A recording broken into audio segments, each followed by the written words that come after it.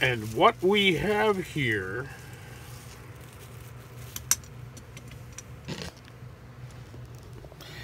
is a good condition Gilmark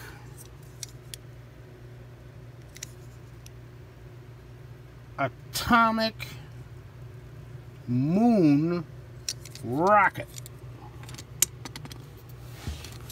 And it's listing it's listing like that because there's only three wheels on the bottom. Number eight. And as you can tell, there's a repair there. Ash, can you see this? But it's complete. And I'd already had a Gilmark Mars Atomic Super Rocket uh, missing its tail fin section and as you can tell they are somewhat different vehicles. The beautiful bird's head raised canopy uh, on that one is now I guess just a front cockpit area.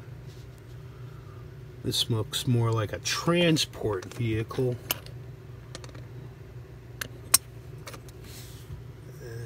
very hard to find. Pristine examples will command a princely sum. And obviously these two are not, but they're good enough for the photo-based uh, sort of art, diorama-like art work that I'm, I'm currently pursuing. And let's take a look at Blastoff uh, by Young, Duin, and Richardson. My apologies to Steve if I'm mispronouncing your name. And here on page 13, we have a rundown of Gilmark's essentially put together spaceship designs. This image shows a mixture of ships, including a couple by Midgetoy and I think one by Pyro. Not sure what that is actually, but there are the big favorite put together Gilmark vehicles. And you can see there the, I think that's the Mars Atomic Rocket in yellow with the complete tail structure. And there's the Moon Rocket in red, also with the uh, complete structure. And I got my money's worth. These things are these things are very rare.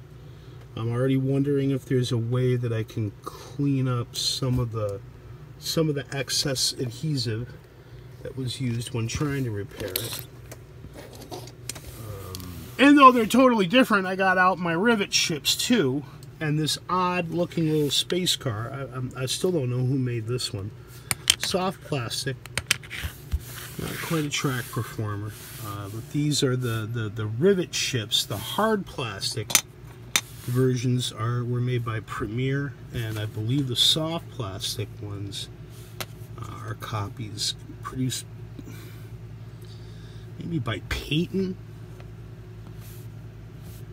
in the 1950s. And these these were uh, I think packaged as Flash Gordon ships. The Gilmark line was more um, generic. They were just space craft there's an intricacy with which they were designed you can just tell by looking it's a hard plastic you can tell by looking at how absolutely fragile these things are and I'm already thinking about how I'm going to pat, uh, pad it within my collection boxes to keep it from mishap. There we go. Two Gilmark ships.